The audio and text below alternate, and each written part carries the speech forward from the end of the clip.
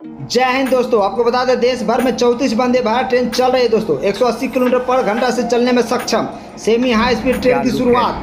साल 2019 में हुआ था दोस्तों। ऐसी पहली ट्रेन जो नई दिल्ली से वाराणसी के बीच चलाई गई थी दोस्तों।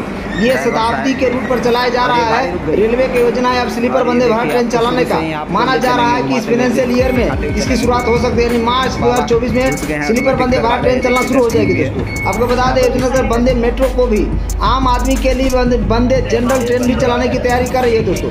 पूरे देश में ट्रेनों को चलाने की मांग उठ रही है लेकिन एक राज्य ऐसा है जहाँ तक अभी तक वंदे भारत से वंचित है दोस्तों, वहाँ से ट्रेनें तो गुजर रही है, लेकिन वहाँ से वंदे भारत ट्रेन का शुरुआत नहीं हुआ अभी तक। जहाँ दोस्तों, आपको बता दें, वो राज है पंजाब जहाँ दोस्तों पंजाब के अमृतसर और बठिंडा के बीच एक वंदे भारत ट्रेन चलाने की मांग की गई थी लेकिन अब तक निराशा यहाँ लगी दोस्तों वैसे दो वंदे भारत ट्रेन जो पंजाब से होकर गुजरती है लेकिन पंजाब में सीधी कोई वंदे भारत ट्रेन नहीं चलती है। अक्टूबर दो हज़ार उन्नीस में शुरू की गई नई दिल्ली कटरा वंदे भारत एक्सप्रेस पंजाब के लुधियाना से होकर गुजरती है। इसी तरह से पिछले साल अक्टूबर में शुरू की गई नई दिल्ली अम्बा अंदौरा वंदे भारत एक्सप्रेस ट्रेन चंडीगढ़ और अनंतपुर साहिब से होकर है। दिल्ली से सबसे ज़्यादा छह वंदे भारत ट्रेन चलाई गई। लेकिन पंजाब एक ऐसा राज्य है। जहाँ से आज तक एक भी वंदे भारत ट्रेन नहीं चलाई गई दोस्तों।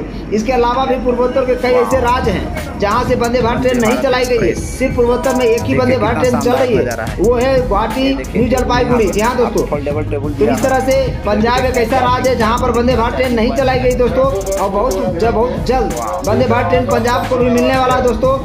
मेरे चैनल को लाइक सब्सक्राइब शेयर करना जय जय भारत।